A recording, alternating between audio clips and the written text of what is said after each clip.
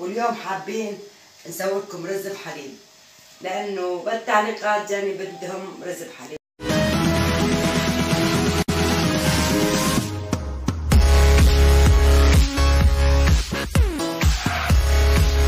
نبلش فيها. يلا معي.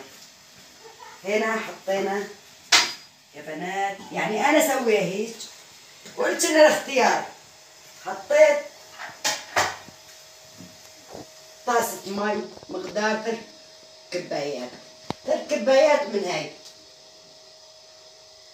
ثلاث آه، كبايات مي مع ثلاث كبايات رز. يعني بدي أسلقه نص سلقة. ما حد يقول لي تروح طعمته أو شيء جربنها وشوفنها وإن شاء الله تعجبكم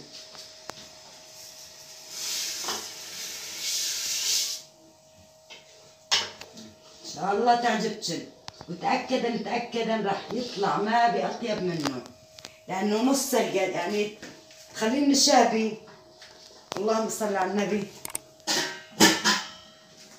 وتكسر شوي من الحبة تستوي. باقي تعال نشوفه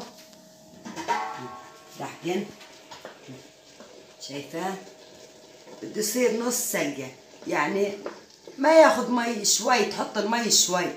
مش نقول إنه يشرب مية كلها. بده يشرب أكيد ما يصير نص سلقة. آه يلا يكفي شرب مي من الحليب. شايفات؟ وتأكد إن اللي تقول لي ما يزبط؟ مستحيل. ويصير ما بأطيب منه. هنا. لا قلت شيء أحط الأخرى. وأنت تقدر نضيفن يعني مسكة تقدر نضيفن ماي ورد تقدر تضيفن هالشغلات المطيبات يعني. هنا عندي ثلاث كبايات. سكر. يعني هذا حسب اختياركن انتن والحلا اللي بدكن إياها وإن شاء الله خير. وين فانيلا؟ أنا أحط لها حبة أحط لها فانيلا. تطلع طعمها طيبة وريحة طيبة. وين عندنا؟ فستق حلبي للتزيين بس. شوفوا هذا شايفات؟ آه. شايفات؟ ترى مو ملزق. مفكرة إنه ملزق. ملزق آه هذا عاد أحط له الحمد تأكد ما تقولون رز؟ سويتوا رز. شايفات؟ آه. آه.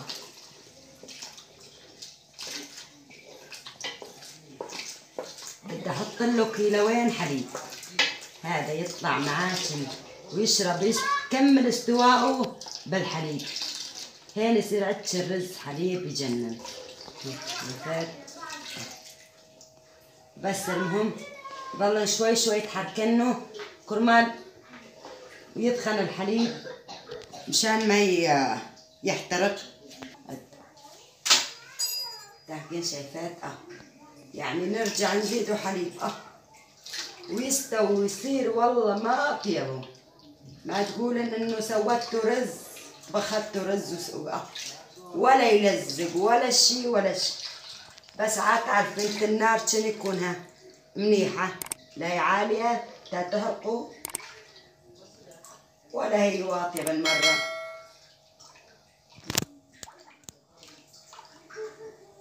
هلها شوي ثانية أحط له عاد شنو؟ السكر. بس خليه لا ياخذ شوي طلوتين ثلاث.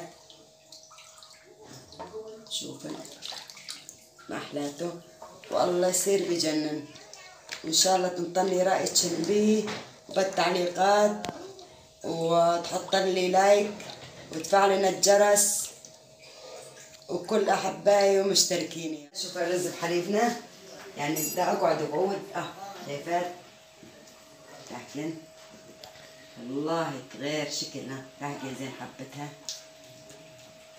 واللي تقول لي طعمته ماي بزعل منها كثير. آه. شوفن. والله غير شكل غير شكل. آه. يعني بس المهم مثل كأني دا تودنينه أنت يوم تودنينه قبل ما تطبخينه يعني دا تحطي له شيء بسيط مي. تطلع نشأ في ناس تحط عليه نشأ. أنا ما أحط عليه شيء النشا اللي طلعوا من السلقة بكفي. الحبنا نحط عليه السكر. السكر عاد هذا اختياري. شلون بدنا نحط عليها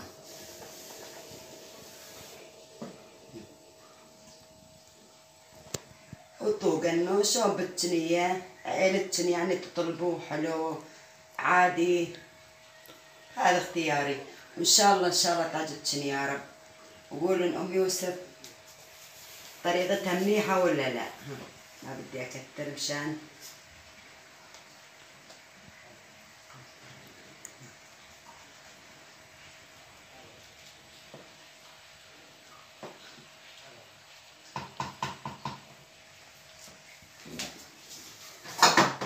بس هلح شوي وأحط الفانيلا عليه.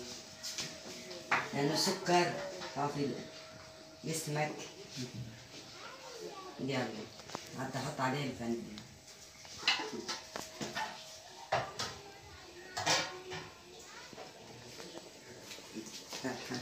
هاي رشة فانيلا. عشان تعطيها طعمة. ريحة غير شكل. يا ريت تن حوالي.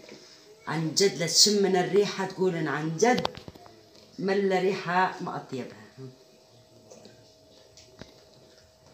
بس تتأكد إنه أنت يعني تسوي إنه نص سلقة إنه ما يكون يلزق أو شي. إذا لزق بدك تغير الجدرية لأنه حرام. يعني يصير بعدين طعمته مو طيبة. يلا. شوي. رز الحليب نش صار بيو شرب حليب يوم استوى. شوف ما أحلاته. والله بس جرب هالطريقة. وقولوا من أم يوسف ما قالت. عن جد لا يعجبكن هالطريقة بالحيل بالحيل يعني. أول أول ما تبخنوا دغري بالحليب بالحليب لا. شوية بالمي. والباقي بالحليب وما تقول انبخوا الحليب لا. تطلع بس نشاه يصير أطيب. هالحظ شوفنا شنو المرحلة. استنني على المرحلة. هين بلشنا التزيين تقدرن تحطن عليها قرفة تقدر تحطن عليها جوز تقدر تحطن عليها يعني تعرفن أنت هالزيت ال... مشان تحلى بس كالعين قراتهم تاكل قبل الأتم قعدنا نزينها شوي تنحليها ثوم العيلة. وإن شاء الله إن شاء الله شغلي يعجبكن وهالطريقة هاي تعجبكن ما دا نعلم ما شاء الله أكيد كل ست بيت تعرف هالشي هذا. بس يعني حبينا سوينا شغلة هيك يعني. سهرية سهرية لهالشباب.